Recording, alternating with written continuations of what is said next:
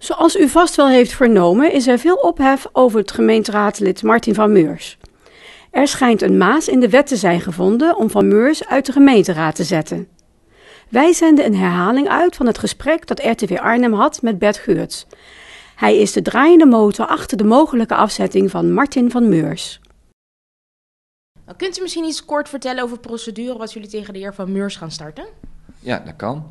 Uh, we hebben nagekeken bij de kiesraad uh, wat de mogelijkheden waren als iemand niet in de, in de woonplaats woont waar die wel raadslid is. En die procedure hebben we opgevraagd. En het blijkt dus dat meneer Van Meurs niet in Arnhem woonde. En om die reden kun je een procedure starten om hem uit de raad te zetten. En waarom is een woonplaats wel een geldige reden om iemand eruit te zetten, maar niet om het feit dat de heer Van Meurs kinderporno verspreidde?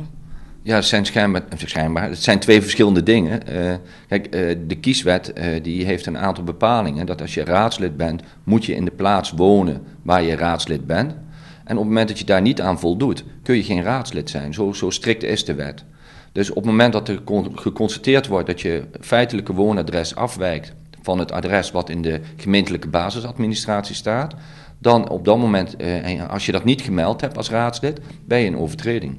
Wat verwacht u zelf van de procedure, hoe het gaat verlopen? Nou ja, dat die uh, snel en vlekkeloos verloopt, want uh, de procedure is heel helder. Uh, er wordt een brief naar, de betrokken, naar het betrokken raadslid gestuurd.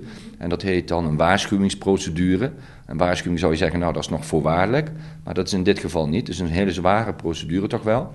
Die, dat raadslid die krijgt die brief, kan daarop reageren als hij dat wil. Dan heeft hij acht dagen de tijd voor. Op het moment dat hij dat doet, kan hij het oordeel van de andere raadsleden vragen. Of die het ermee eens zijn. Dat zou betekenen dat we als raad een besluit zouden moeten nemen of de heer Van Meurs in de raad mag blijven. Als wij vinden van niet, dan heeft uh, meneer Van Meurs nog één uh, optie. En dat is naar de Raad van State gaan om daar een beroep aan te tekenen.